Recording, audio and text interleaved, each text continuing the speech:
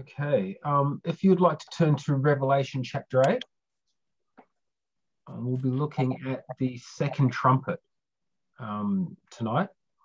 But before we get into reading that, um, I just want to sort of do a little recap of the, the, the, context of the trumpets. We looked at a bit of this last week. Um, can someone read for us again Revelation 8, verses 2 through to 6?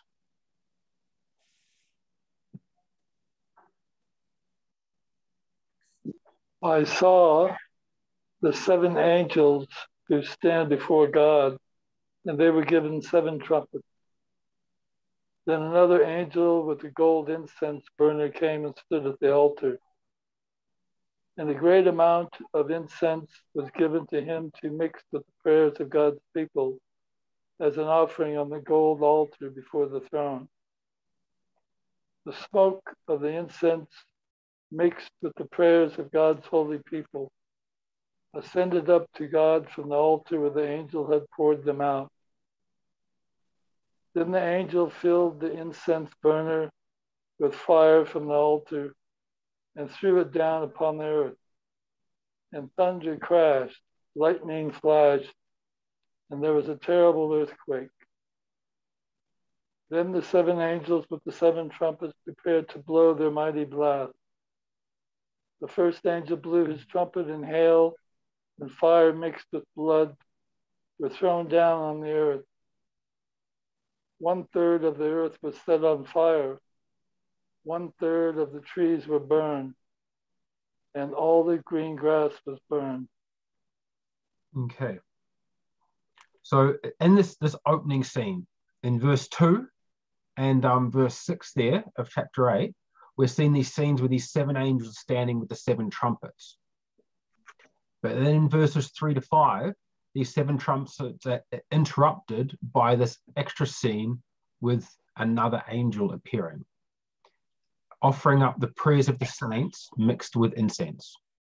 And this gives us the, the context in which to understand the trumpets in. Now, he's offering up the prayers of the saints. And we, we ask the question um, where do we see the prayers of the saints appearing in, in Revelation? And we saw that happening back in chapter six, which we, what we previously looked at under the seven seals. And Revelation, um, yeah, Revelation six under the fifth seal, Revelation six verses nine to ten. When he opened the fifth seal, he says, I saw under the altar the souls of them that were slain for the word of God and for the testimony which they held. And they cried with a loud voice, saying, How long, O Lord, holy and true, dost thou not judge and avenge our blood on them that dwell on the earth? And so we have under the fifth seal that the saints offer up this prayer to God, and they are praying for God to, to judge, to avenge them upon those that had persecuted them.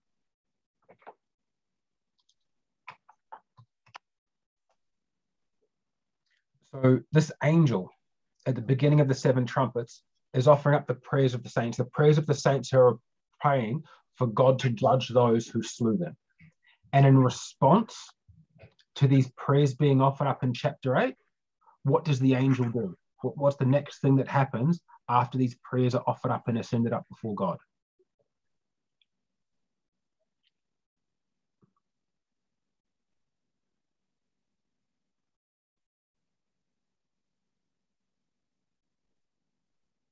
pass the censer to the ground, does it? Or to the earth?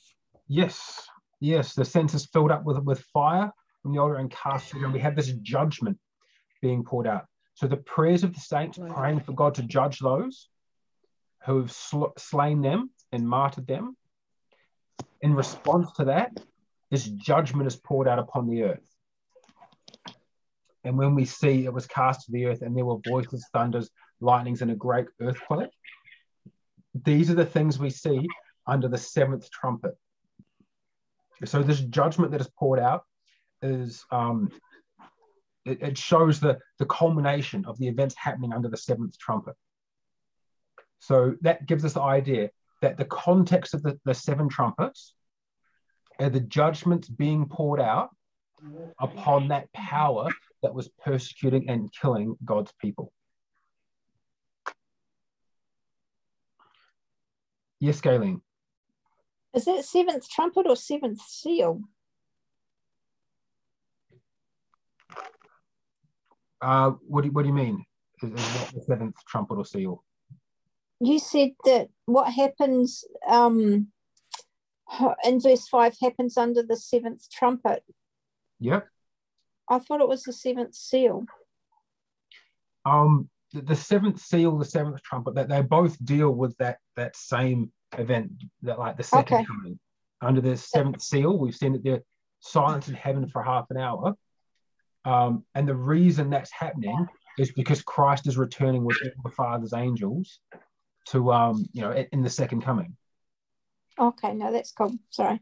But also, if we look at the seventh, um, the seventh trumpet, um, we see this same imagery happening, which is you know happening at that second coming. Okay. Mhm. I thought they were different for some reason.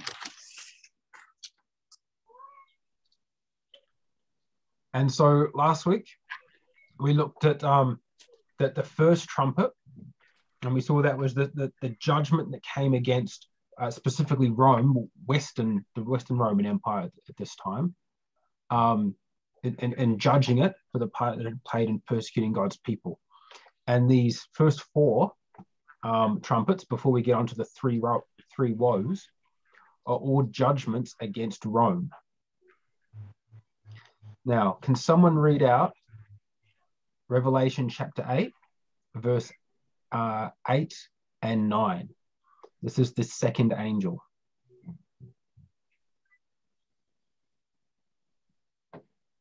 I'll read that, Matthew. Yep. And the second angel sounded, and as it were, a great mountain burning with fire was cast into the sea. And the third part of the sea became blood, and the third part of the creatures which were in the sea and had life died, and the third part of the ships were destroyed. Mhm. So what we're seeing here is a great mountain cast with fire. Okay, it's cast into the sea. That that's the, the action that happens, and the result is again we get this idea of a third popping up, a third of the sea, a third of the creatures, and a third of the ships were all destroyed. And so, what is the significance of the judgment falling on a third part of, of these things?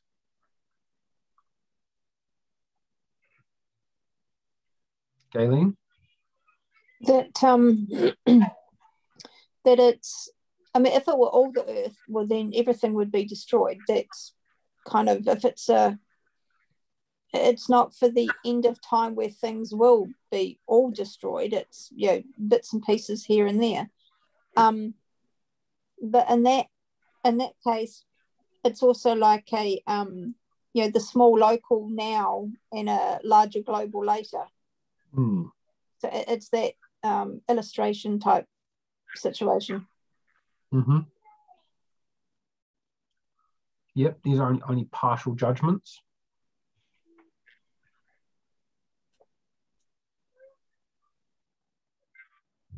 And again, it shows like when you compare the trumpets to the plagues, a lot of the judgments fall upon the same thing.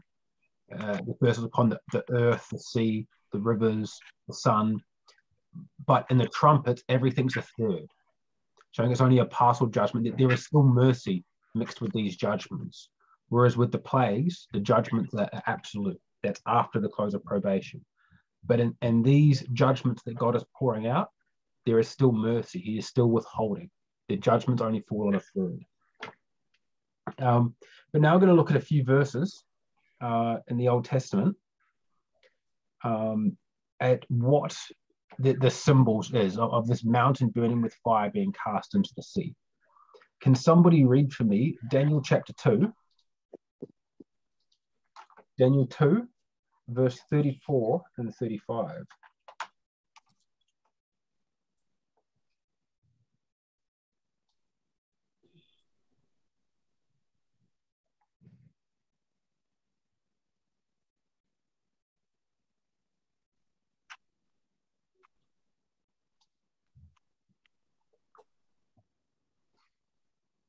Is it 232?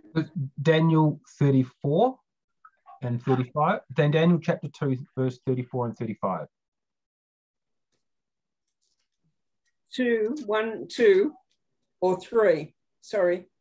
Daniel chapter 2. Oh, two. Okay. I'll Yep. read it. Uh, this image head was of fine gold. Is that the one? Chapter, uh, verse uh, 34. And 34. Thou sawest till a stone was cut without hands, which smote the image upon the feet that were of iron and clay, and brake them to pieces. Mhm. And 35. Then was the iron, the clay, the brass, the silver, and the gold broken to pieces together, and became like the chaff of the summer threshing floors. And the wind carried them away, that no place was found for them. And the stone that smote the image became a great mountain and filled the earth. Hmm. So in this this vision, we see that this this great mountain um, appearing, and so the question is, what is the interpretation of this mountain? Can somebody read verse forty-four and forty-five? And we want to see what Daniel tells us about what this mountain represents. Prophecy.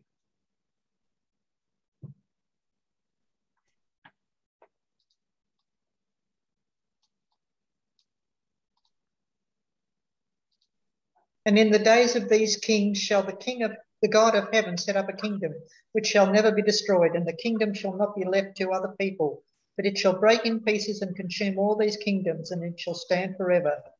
For as much as thou sawest that the stone was cut out in out of the mountain without hands, that it break in pieces the iron, the brass, the clay, the silver, and the gold, the great God hath made known to the king what shall come to pass hereafter, and the dream is certain, and the interpretation thereof sure. Hmm. So what did that mountain represent? The enemy.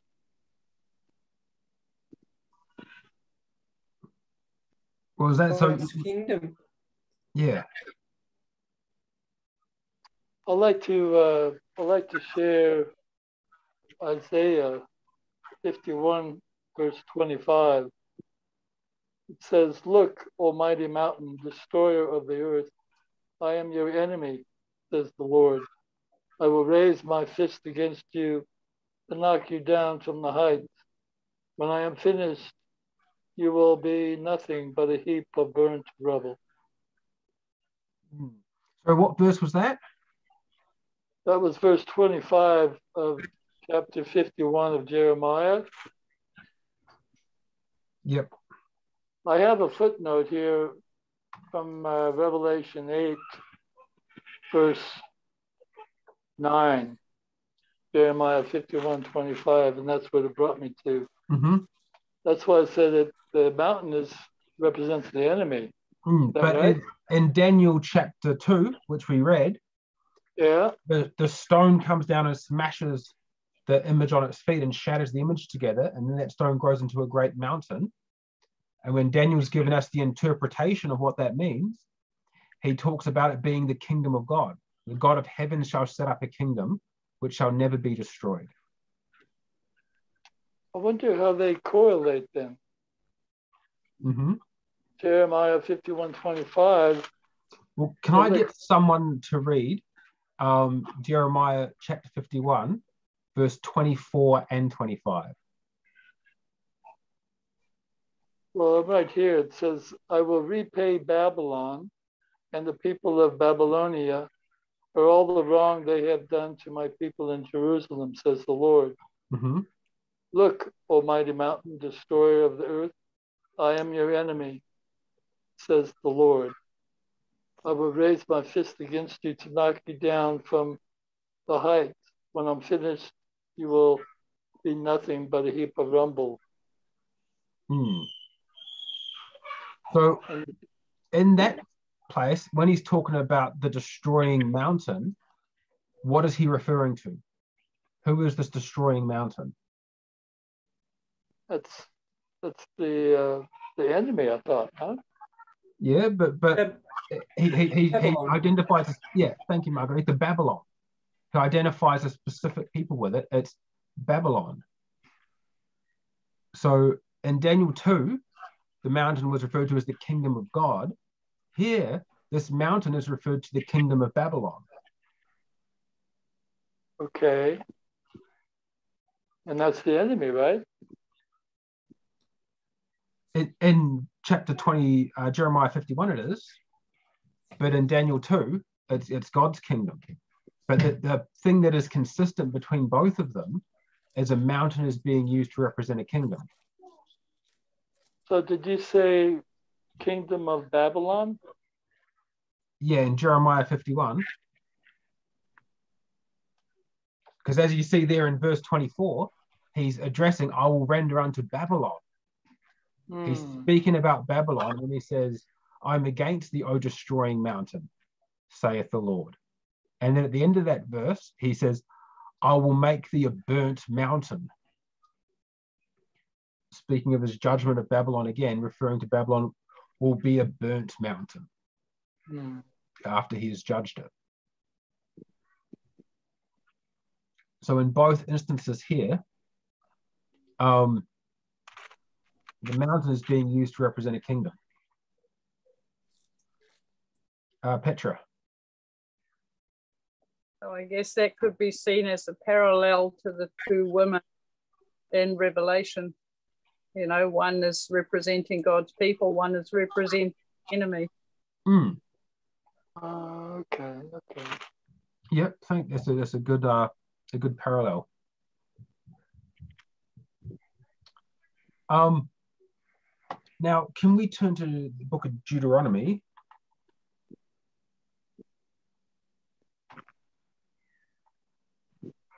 Deuteronomy chapter uh, 32.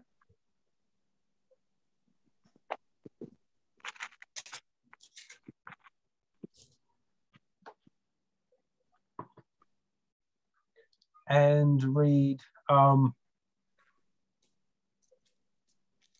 verse 21 and 22.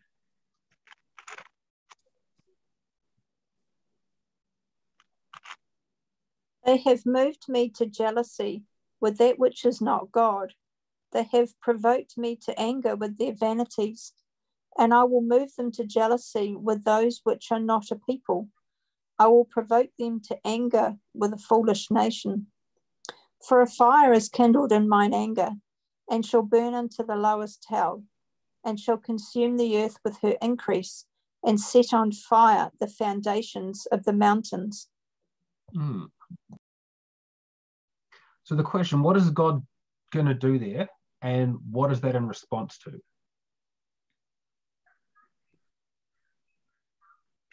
Tried in the fire. Just, uh, cleansing. Hmm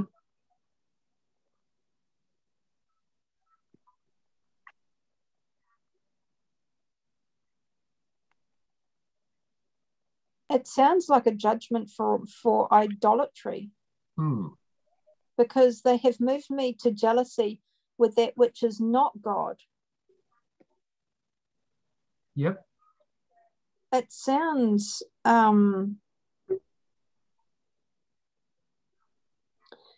in some ways it sounds literal, but yet in some ways not. And with regards to the mountain, because to set on fire the foundations of mountains, that sounds like magma chambers inside volcanoes. hmm so that part of it sounds literal um, but i don't know if the rest would be in verse 22 obviously 21 is you know um, they have provoked god to um, to um, to a judgment so that's obviously you know judgment is literal but what the judgment or what the punishment is Hmm. I'm unsure. It sounds literal, but yet it doesn't. Mm-hmm. Yep. Yep. There, are actually often in, in- passages um, it jumps between literal and symbolic. Um, and sometimes it's hard to draw the line of exactly what's meant as literal and what is symbolic.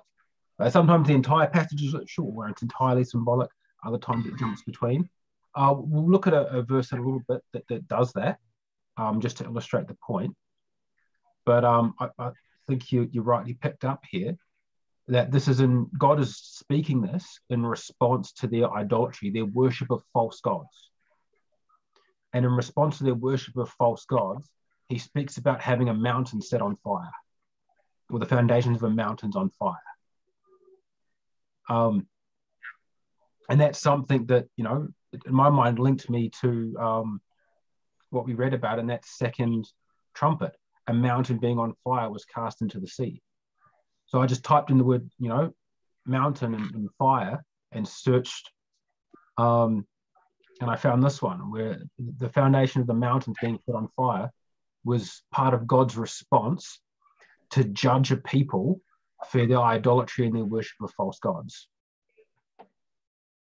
Um, but also, also uh, Matthew, doesn't it say at the end time that the people are filled with shame that are not following the Lord, and they'll invite the fireballs to fall on them because of their shame. They'll want to die, actually.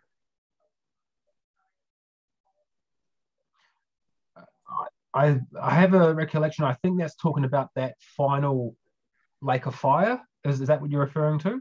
In that final. Yeah, yeah. I think after that, every knee bows and every tongue confesses. That, yeah yeah, that Jesus Christ is Lord. Every they all realize, um, you know, sort of that, that God was righteous, that they were wrong, right, and sort of the you could say the guilt and shame on that. They, they acknowledge their judgment as being just. Mm-hmm. So he's preparing them for this now. Hmm. Well, as we see that that that's sort of the final judgment. Um, as we looked at the trumpets, they're just these, these partial judgments that are poured out throughout history. Mm-hmm. Uh. It almost, to me, parallels with the flood. Um, probably not quite so much with the trumpets, but more the end one. Um, that being, um, like Margaretha said the other day, where the earth itself and what's underneath are God's weapons of mass destruction, I suppose you might say, for his judgment. Mm-hmm. And it's the same thing that happened with the flood, though one was water and one is fire. So the same thing is happening. It's just different elements that he is using, but it's still stored up within the earth that he will be using.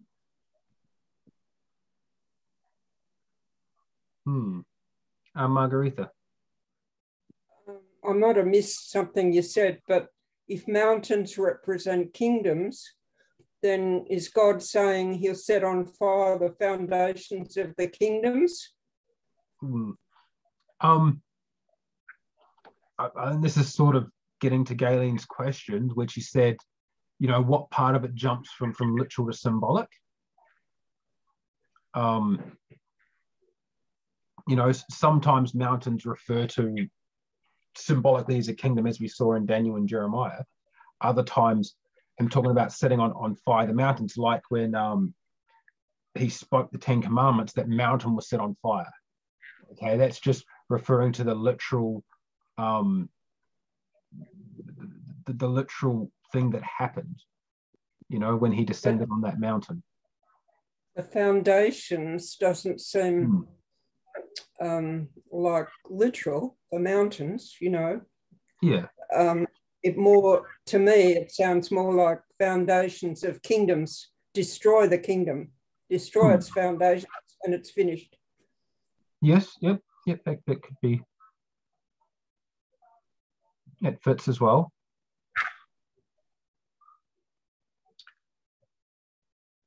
Can we turn to Psalms 83.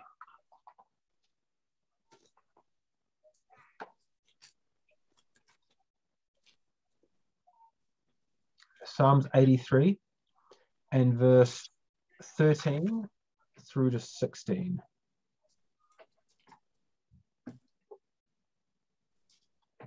What verse? Psalms 83, verse 13 to 16. Okay. Oh my God, make them like a wheel as the stubble before the wind.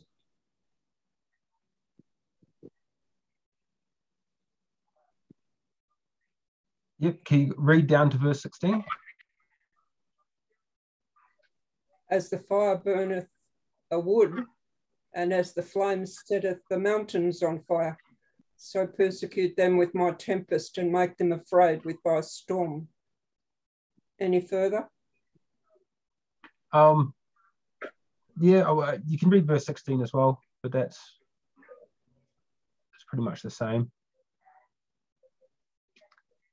The, uh, the question there when it talks about as a flame setteth the mountain on fire.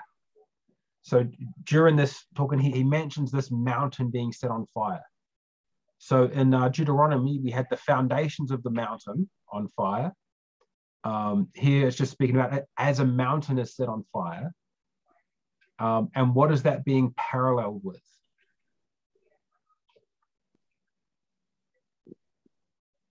The fire burns a wood. Mm-hmm. Yeah, yeah. And what else in that passage? These are all sort of parallel analogies he's using to say, as the fire burns the wood, as the flames set the mountain on fire, God, I want you to do something. Uh, Petra. So the wheel that's mentioned in 13 is that an indication to stimulate a response or an activity which would fit with verse 16 fill their faces with shame that they may seek thy name, O Lord. Amen. Mm-hmm. They were disgraced.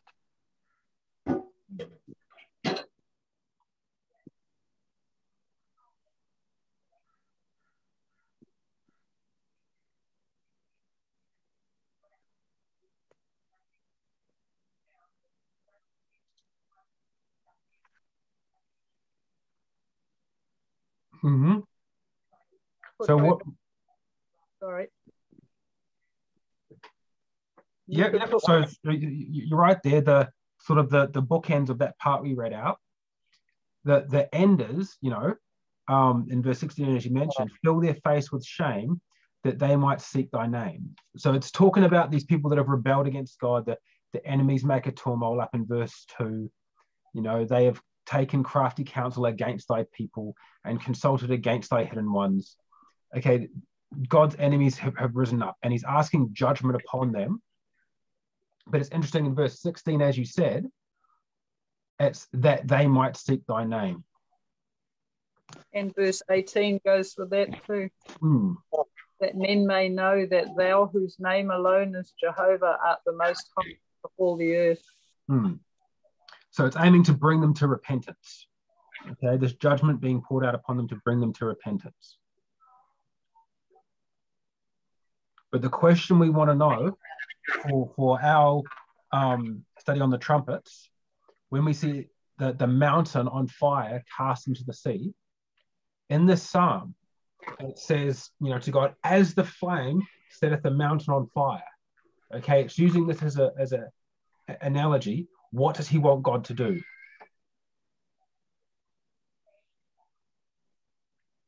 He wants he wants God to persecute him them with his tempest and make them afraid with thy storm. Mm. So he wants a judgment to be given. Mm-hmm. He wants something done. Absolutely. As it as it were. Mm-hmm.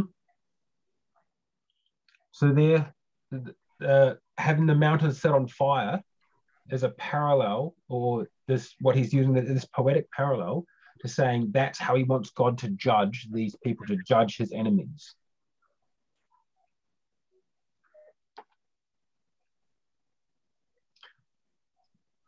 Um, so the symbol of a mountain in Daniel and Jeremiah representing a kingdoms. Um, but in there we looked in, in Deuteronomy and Psalms, the mountain being set on fire is God's judgment against these kingdoms. Okay, God, God's judgment against idolatry, specifically the worship of false gods in Deuteronomy. And here in Psalms, God's judgments against the enemies um, that are fighting against his people. Now, before we jump back, um, can we look at Psalms 80?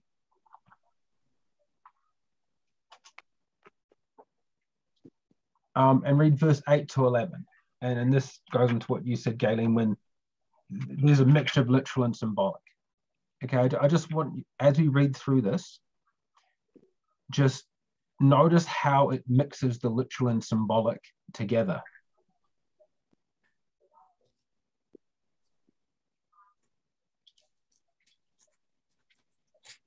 Want 8 to 11 of chapter 80? Yes. Thou hast brought a vine out of Egypt. Thou hast cast out the heathen and planted it. Thou preparedst room before it and didst cause it to take deep root, and it filled the land. The hills were covered with the shadow of it, and the boughs thereof were like feathers.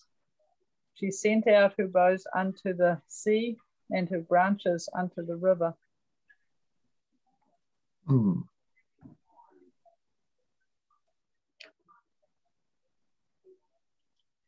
So if I was to ask the question, is that passage symbolic or literal? How would you answer that?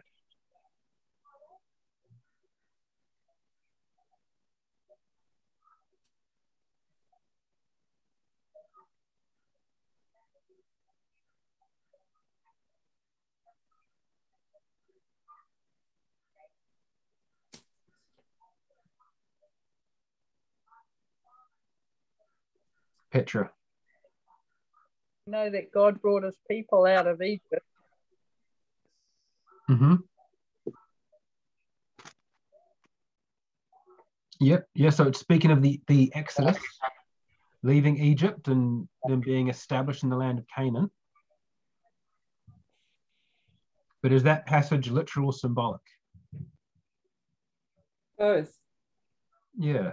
A bond out of Egypt. Mm. A bond is symbolic Mm. out of Egypt. Yep, absolutely. And and so it's using vine to symbolically represent God's people, but Egypt is literally the place where He brought them out. And so throughout this whole um, section there, it's constantly swapping between literal and symbolic, um, without actually giving us an indication of, of when it's doing it. You've just got to read it and um, understand what parts of the, the symbols being used and what parts of the literal um, events or people places indicated. Um, so that's just to, to, to answer Galen's question um, about that other uh, passage we looked at, where it looks like some of it could have been literal and some symbolic. And it's just to show that the Bible actually does this quite often, um, well, in, in several places anyway. Uh, this is this is one of the examples.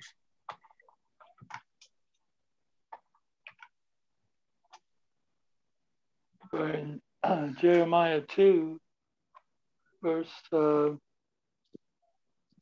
21, it says, But I was the one who planted you, choosing a vine of the purest stock, the very best. How did you grow into this corrupt wild vine? Hmm. No amount of soap or lye can make you clean. I still see the stain of your guilt. I, the sovereign Lord, have spoken. Oh, this is all to me a cleansing, and fire is to purify. And uh, but He's allowing grace to be administered. He's allowing them to submit to change. Mm-hmm. Yeah, yeah, and I, I think that's one of the things that comes up there in that Psalms 83, when you know the mountain set on fire was with, with, with God, you know, persecuting with a tempest these the enemies of his people that it had attacked them. The purpose of that judgment was for them to repent.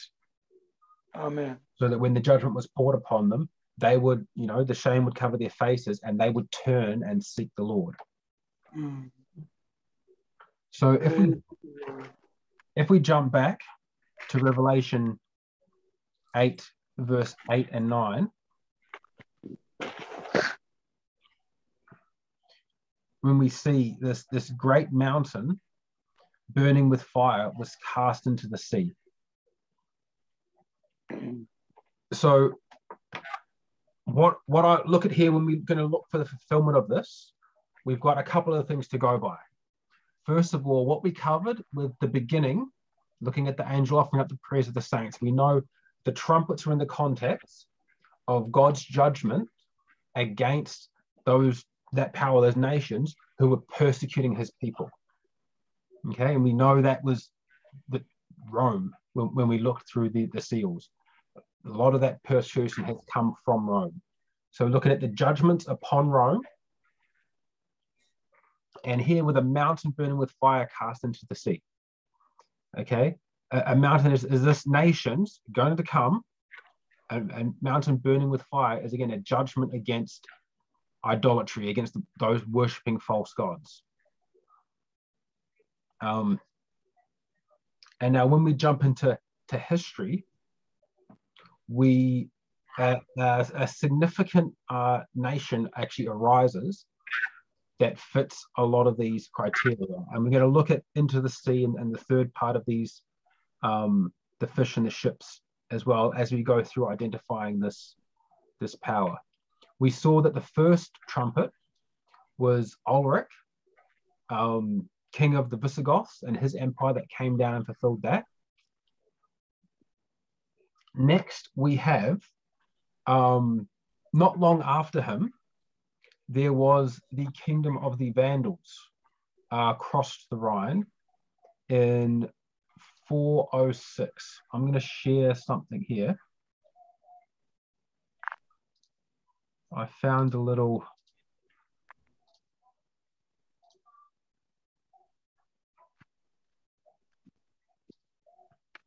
a little uh, map here. Now, the, just the, the red there is what Alaric of the Visigoths did. He came through here through um, Elastrium, went in there, sacked Rome in 410 AD, and settled out here in Gaul. Um, and just interestingly to note, when it talked about that first um, judgment being on a third part that was judged, if you take the Roman Empire as it was um, in both Western and Eastern, roughly how much did the Visigoths go through in their, their invasion and destroy?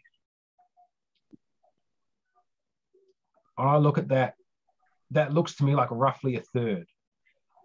These red lines went in through here, throughout Greece, Macedonia, up through Italy, and into Gaul or southern France, Spain.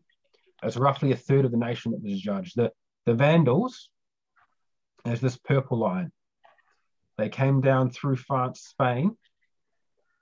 Um, they, they crossed with a couple of other tribes. This blue one here, the um, Suevi, that stayed in what is what became Portugal but they ended up crossing the Gibraltar Straits in uh, 439 and took Carthage. And then all of North Africa became the Vandals. And so again, it's interesting that the the path they took when they invaded um, actually affected about a third of the Roman Empire. Um, but there's some other interesting things that happened with the Vandals. They had the, the desert to the south, which meant they, they couldn't do anything further this way. So what they did from Carthage is they actually built and invested a lot into building a navy, and they controlled the entire Mediterranean um, with their ships launching attacks up against the coasts of Rome. Um,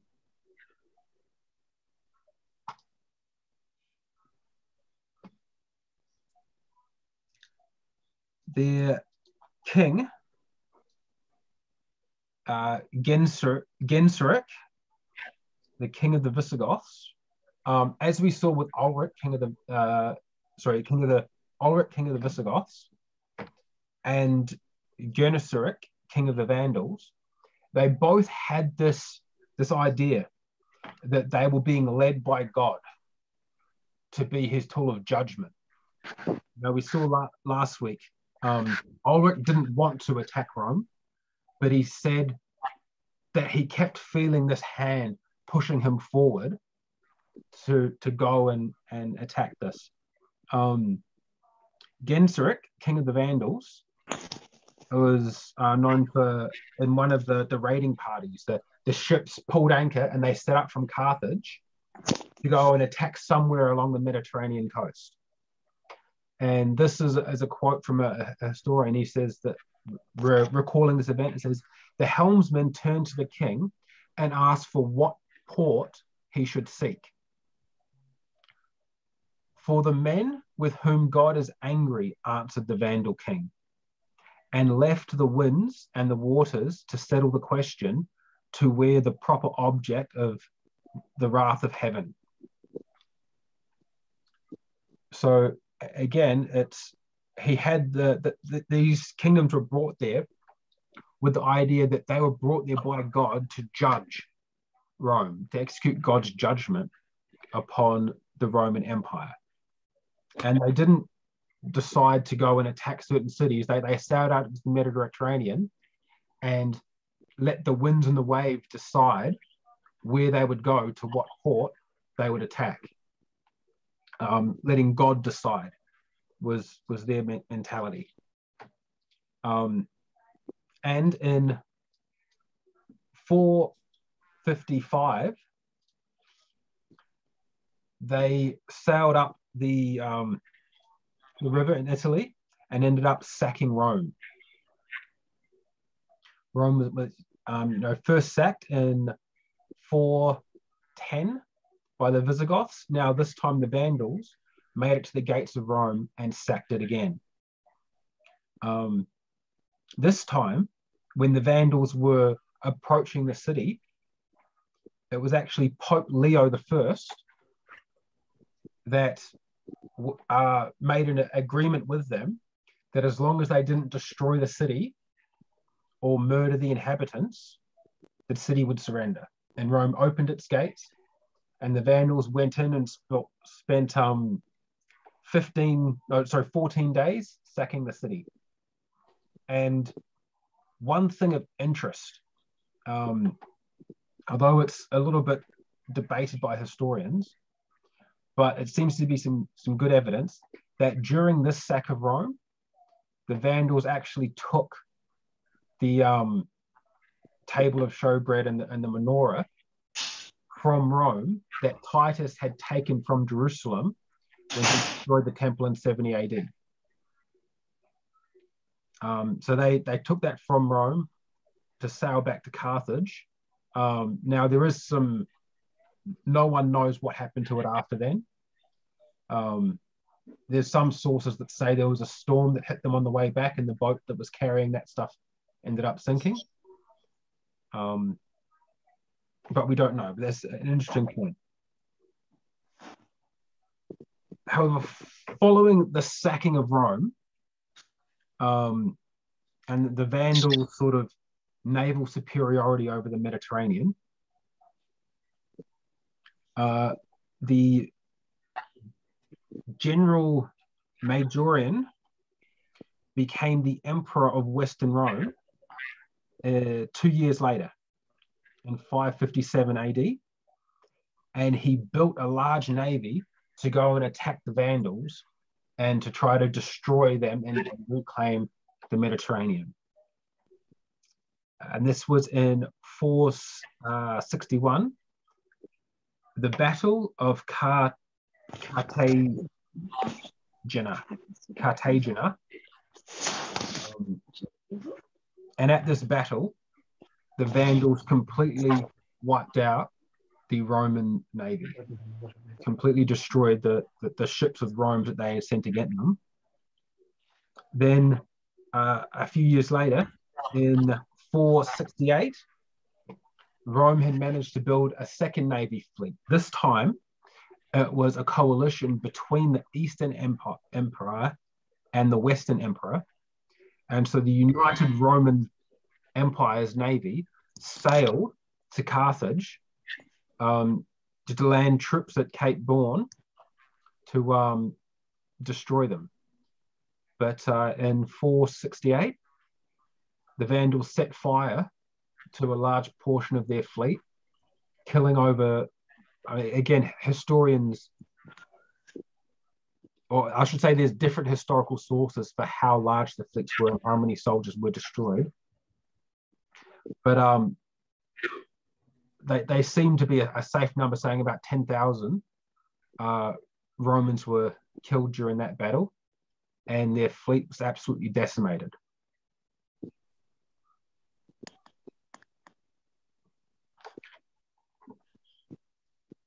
So we have there this, this judgment of the Vandals upon the Roman uh, the Roman Empire. They took North Africa off the, the, the Western Roman Empire. Their invasion covered about a third of the empire. Their dominance over the Mediterranean Sea, and it was through the Mediterranean Sea and the Navy that they sacked Rome, that they destroyed the Roman navies twice, um, destroyed the Roman navies. And their uh, dominance over the, the Mediterranean Sea lasted until Emperor Justinian in 533 sent his armies to Africa and uh, routed the Vandals and completely wiped them out. Um, it's estimated that around 5 million were, were killed in North Africa under Emperor Justinian. He um, evidently didn't take Vandal prisoners and completely wiped the nation out.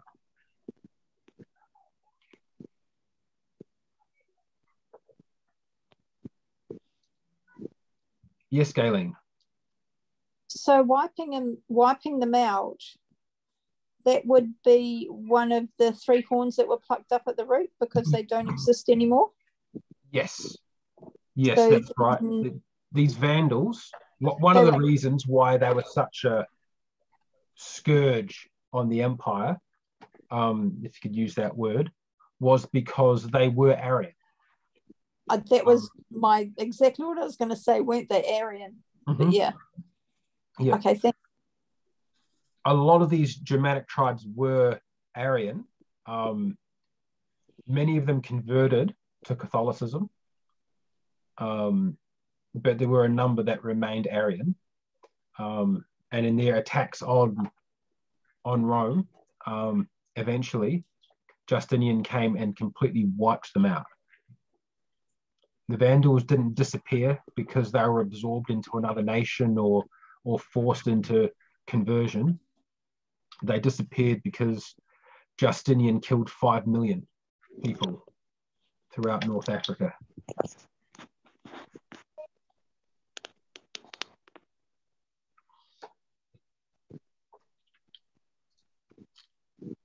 So, if we go back to read Revelation 8, verse 8 and 9, thinking of the history of these um, the Vandals under King uh, Genseric.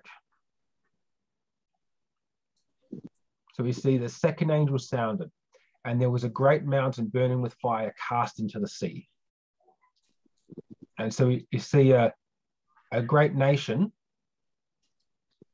um, this mountain burning with fire as a judgment against idolatry, the false worship, the enemies of God, and it was cast into the sea. Now, sea is sometimes interpreted as peoples, nations, multitude, and, and languages, um, as we see elsewhere, like in Revelation 17. Or we can understand it here as that being where it switches to literal. The great mountain burning with fire being symbolic for the Vandal, the nation of Vandals, judging the idolatrous or the, the idolatry and the false worship of papal Rome.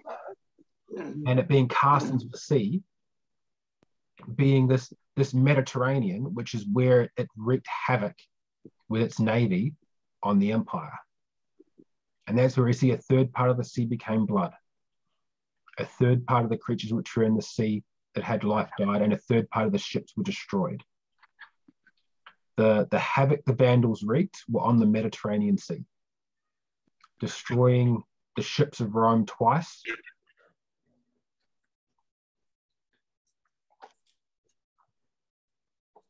And so we see in, in all those aspects that second trumpet, well, the, the first trumpet was fulfilled by the Visigoths, and the second one is fulfilled by the Vandals.